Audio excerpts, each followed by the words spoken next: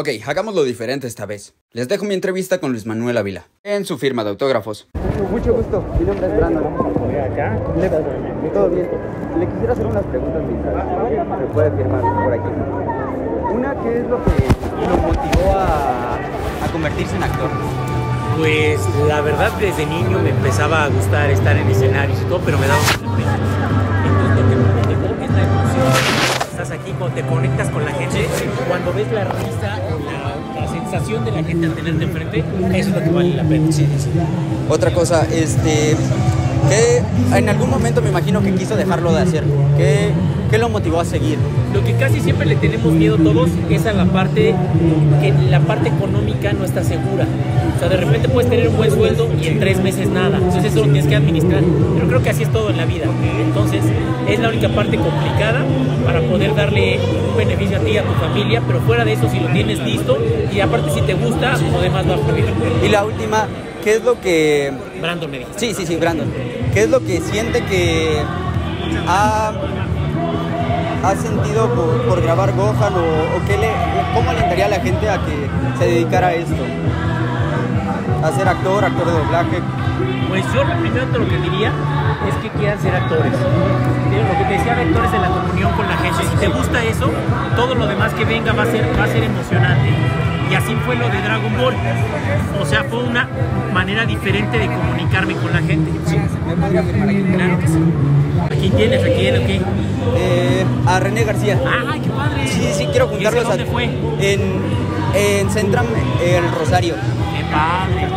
Mi, mi meta es conseguir a todos los actores de doblaje de Dragon Ball en ese... Sí, en sé ese que momento. Mario y Lalo están viniendo también. Sí, a Mario, a Mario no lo he conocido, pero a Lalo y, al, y a la actriz de doblaje de Milky Chow ya, la, ya los tengo, pero en otros mangas. Y apenas como que se me ocurrió juntarlos todos en uno solo. Aquí tienes, Brandon, mucho gusto. Muchas gracias por venir. ¿eh? Gracias.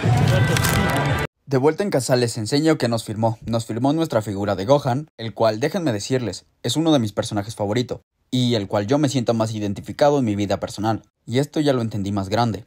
Porque él decidió seguir sus sueños. Hay gente que dice que Gohan, de Z, cuando se puso a estudiar, ya no tenía chiste. Y para mí era todo lo contrario. No tuvo ese futuro donde tenía que pelear para sobrevivir. Lo que realmente hizo es ser un hermano mayor. Un ejemplo de ser un héroe. Aplicar todo lo que ha aprendido en su presente y futuro. Es lo que me motivó a ser un ejemplo a seguir. Seguimos con las firmas. Nos firmó este tomo número 36, ya que Gohan era el protagonista. Y salía en la portada. En una parte del video, escucharán de a quién tenía. Y es que cuando me lo estaba firmando, se dio cuenta de esto. Y fue cuando le dije a René García. También me había comentado que Lalo Garza y Mario Castañeda estaban haciendo esto. A Lalo Garza lo conocí por lo mismo. Y cuando me despedí de él, nos dijo un a mover ese cuerpo. Con la voz de Lucio. Los fans de Overwatch entenderán. También conocimos a la voz de Sailor Moon, Patty Acevedo, quien hace a Milk y Chaos. Y se me ocurrió lo siguiente.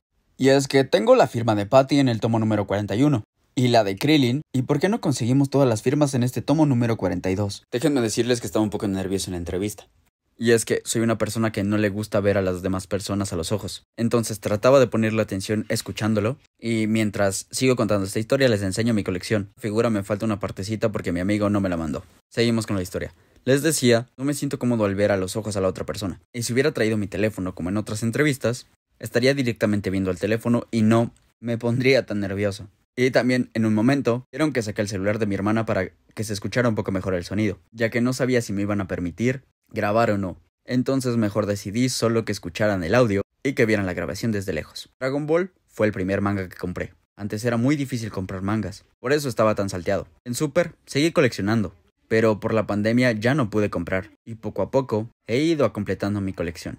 Curiosamente, cada que voy a una firma de autógrafos de Dragon Ball, encuentro algún tomo que me falta, como este fue el caso.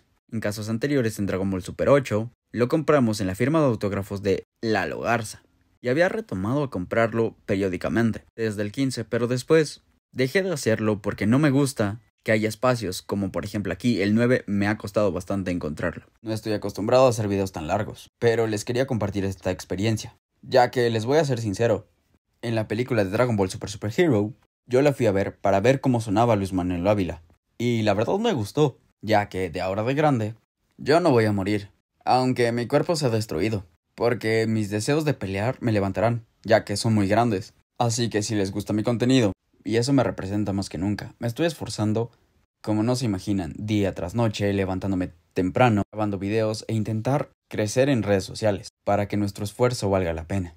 Así que no nos vamos a rendir hasta conseguirlo. Por último, la parte más importante de mi colección. Esta cartera que nunca me falló, nunca se me perdió y es mi pieza más grande sentimentalmente. Si les gusta mi contenido, síganme para más. Vamos a tratar de conseguir el tomo número 42 por todos los actores y actrices de Dragon Ball.